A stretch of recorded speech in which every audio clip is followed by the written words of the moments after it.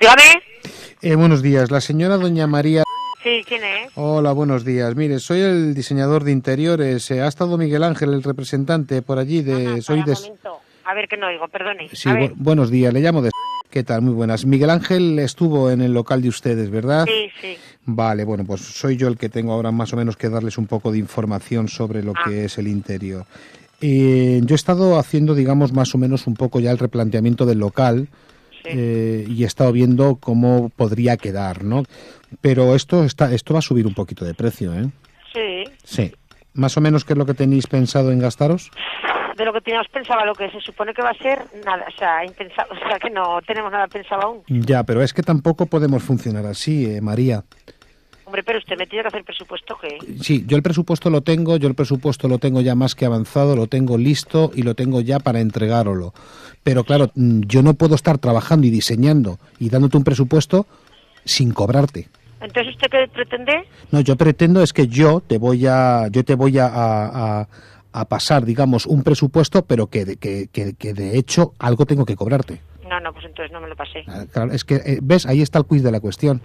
Pero si es que yo no le he pedido en ningún momento a Miguel Ángel ni a nadie que me hagan un diseño del local, ni de que me lo remodelen, ni de que nada. Solamente lo que valen los juegos. Entonces ya ese es mi problema. Si lo queréis vender, bien, y si no, pues nada. Ustedes lo que pasa, perdóneme señora, pero son ustedes unas listas, perdóneme. ¿Cómo? Que son ustedes unas listas.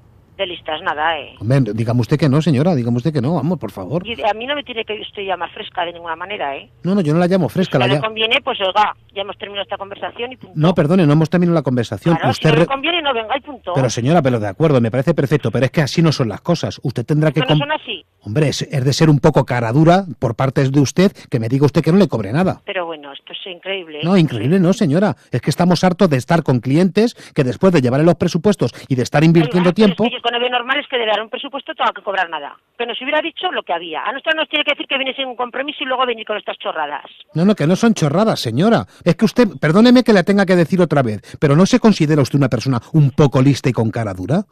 Que yo soy lista y con cara dura. Dígame usted entonces a mí. ¿Pero usted de qué va? No, yo no voy de nada, señora. Simplemente soy un representante que llevo muchísimos años en esta empresa y me estoy dando cuenta de que ustedes como clientes son unos auténticos Pues falsos. que le diga, pero si trata a todos los clientes así, su empresa pronto cerrará o lo mandará a donde no le tengo que decir. Desde luego, señoras, eh, eh, se lo voy a decir claramente. Monte usted una frutería, señora, que le irá mejor. Pues Mon- si me va mejor, sí. Sí, porque no tienen ustedes ni idea de lo que no van a montar. nada ni lo que tengo yo, ni lo que me voy a montar, ni lo que ni, ni vamos. No me haga hablar mal ya que... No, no, pero hábleme lo que tenga usted que hablarme. Usted, pero no se da cuenta usted, señora, no se da usted cuenta que son ustedes las típicas mujeres que no hacen nada durante todo el día y hacen pedir presupuestos a la gente nada más que para entretenerte, porque usted, como no tiene nada en que entretenerse durante el día, Jodas. pues Ah, no tengo nada en que entretenerme, ¿eh? Bueno, si tiene narices de chorradas que me está diciendo, me las venga aquí y me las diga. Que me está tocando las pelotas.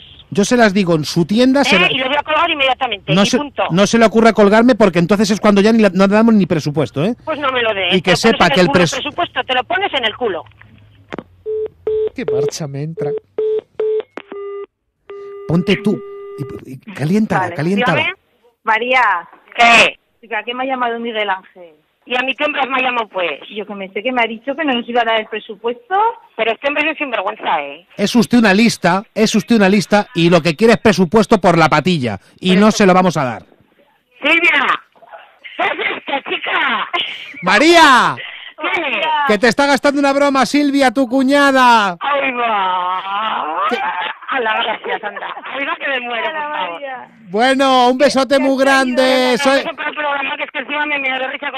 María, soy Isidro Montalvo del programa Atrévete de Cadena Día, que te estamos gastando una broma de parte del programa. Pero de verdad, por favor. ¡Ay, qué ilusión te ha hecho! Bueno, un besote muy grande a las dos. ¡Viva Zaragoza! ¡Ay, Egea de los caballeros! Adiós. ¡Chao, bonitas! ¡Chao! ¡Chao, chao, chao!